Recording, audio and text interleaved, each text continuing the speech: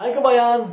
Good afternoon everyone. Today's video, I will share to you the KineMaster docking, trim and split, we call that the scissor, and the volume envelope on our video. Docking will work clip by clip on our video. Let's see how it works on our tutorial. Before we continue, let intro first and we will continue our tutorial. Don't forget to subscribe my channel and hit notification bell so you'll be notified with my latest video.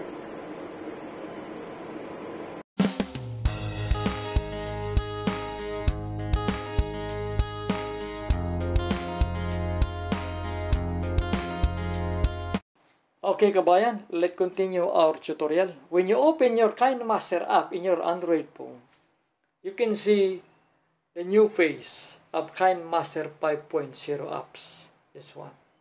Okay, let's continue. Go to create new. Then the aspect ratio must be 16 by 9. Go to next. And I will select a video clip in my media browser.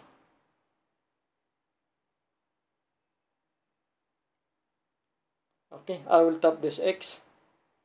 Then I will bring this video clip to the right position.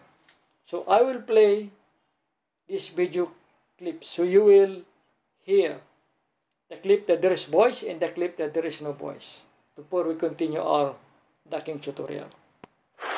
Lalamig ako dito sa mga So kasakayay. you can see there is voice, the first clip. The second clip, you cannot hear the voice. Ano The third, dito. the third uh, clip, you hear the voice. Saan ang labas natin ito? South? So, the fourth clip, you didn't hear the voice. Andun sa ulihan eh. Then the last clip, ano you hear the voice. Okay? So, let me stop this one. I'll bring again this one to the right position. To work uh, docking, we have to go to audio.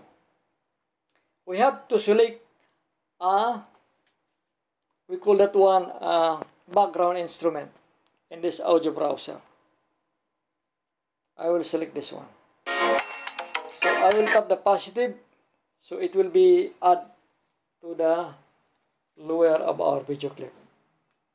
The background instrument. Okay, I will tap this one. Okay. Then I will tap this uh, background instrument. Then I will tap this docking. Okay. To work the docking, we have to tap the first clip, this one. And then go to this uh, speaker. This is the adjustment of docking. So, the first clip, we hear the voice. So, let's say, make this one 100% negative. So, it means we cannot hear any uh, background instrument. Okay? And then, let's go to uh, the second clip.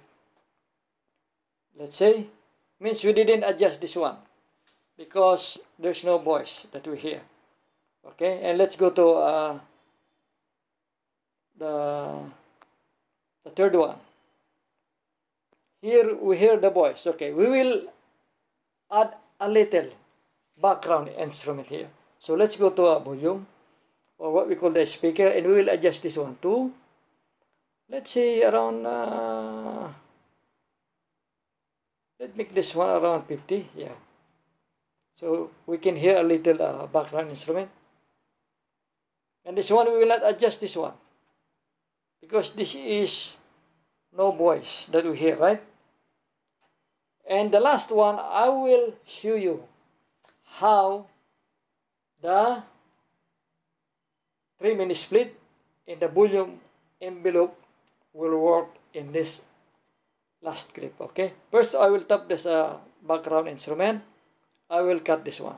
So, I will look for the trim, trim split.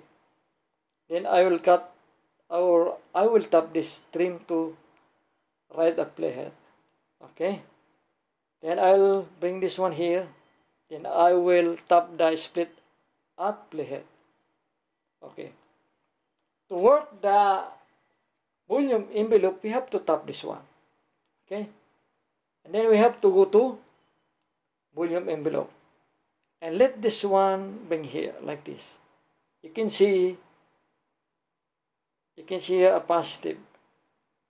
Or if you cannot see the positive like this, if you cannot see, you have to tap this one. If you see the positive, you can tap like this. If not, both will work, this, this two. This one or this one will work, no problem. Okay? And we have this to adjust little. Make this one around 88, like that. And this one, we'll bring this one to, let's say, around 17. So it means the background instrument will going down.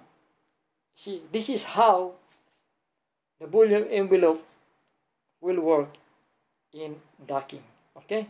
So let's play a complete. Let let I will tap this one and let's say play uh, the whole clip. So we will see how we adjust and we do it the docking envelope tutorial. Play. Lalamig ako dito sa mga kasakayay. Okay, you hear the background instrument.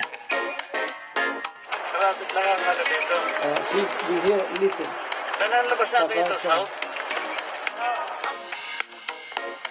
Uh, see, you completely hear the background instrument. This one is, it will goes down. Marami naman si Dexter. Okay, if you really learn in my tutorial,